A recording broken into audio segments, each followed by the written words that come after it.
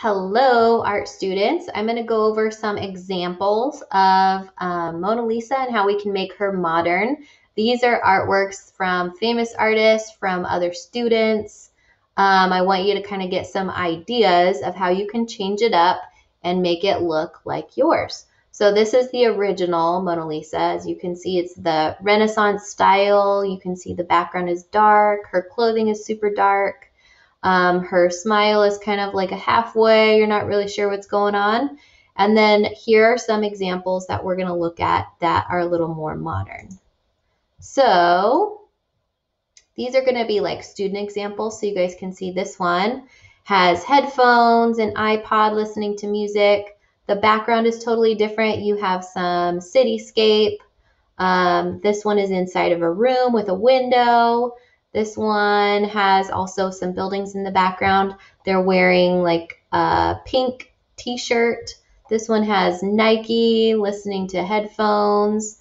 This one has her hair up in a bun. Still kind of a same pose. So they're having their arms drawn kind of like how Mona Lisa did. Um, these are going to be student examples. Here are some famous artwork examples of Mona Lisa. So they're a little bit exaggerated on some of them. This one, the eyes are really detailed. Um, the painting looks like it's more kind of a thick, thick application. This one is only using just a couple of different colors, but it is completely different than the original.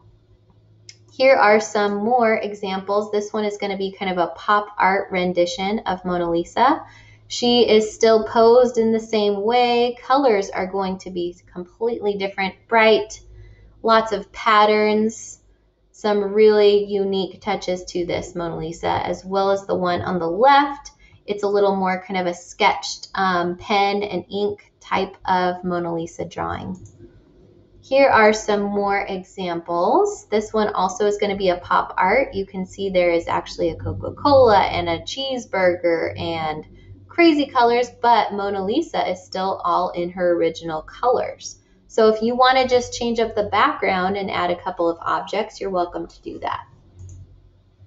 This one on the left is also going to be just a couple of colors. It's not very many, but it's kind of a smudged look to it. So what you guys are going to be able to do is you're going to be able to choose what you want to use to make your artwork. So you can use your watercolor painting, you can use any tempera paint you might have at home, you can even do colored pencils or crayon or markers.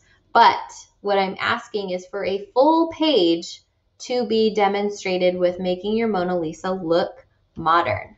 So here's some instructions. And one of the things you should have already done was complete the worksheet that we did um, in class on Monday. So you're going to be able to use magazines. So any clippings from magazines, if you want to attach that onto your art project, um, you can use pictures from the internet. This is not going to be done on the computer. It's not digital. You're doing it on actual paper. So if you cut things out, you can insert it onto your paper. You still need to have some of the basic structures of Mona Lisa. So you still need to have a portrait of Mona Lisa in a pose where her arms are kind of in the same direction. She needs to have a background, hair, face, all of that included.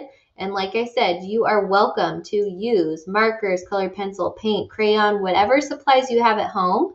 But the key thing is you are making your Mona Lisa as modern as possible. So we want her to look like she belongs here today in 2020. All right, have a really fun time thinking and creating your modern Mona Lisa.